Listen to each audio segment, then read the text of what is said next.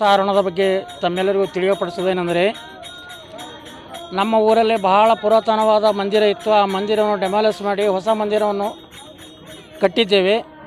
ಇವತ್ತಿನ ದಿವಸ ಕಳಸವನ್ನು ಖರೀದಿ ತಂದು ಈ ಮಂದಿರದಿಂದ ನಾವು ಹನುಮಾನ್ ಮಂದಿರ ತನಕ ಮೆರವಣಿಗೆ ಮೂಲಕ ಹೋಗ್ತಾ ಇದ್ದೇವೆ.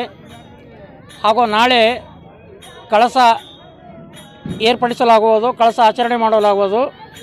ದಯವಿಟ್ಟು ಎಲ್ಲ ಜನರಿಗೆ ಆಹ್ವಾನ ಇದೆ.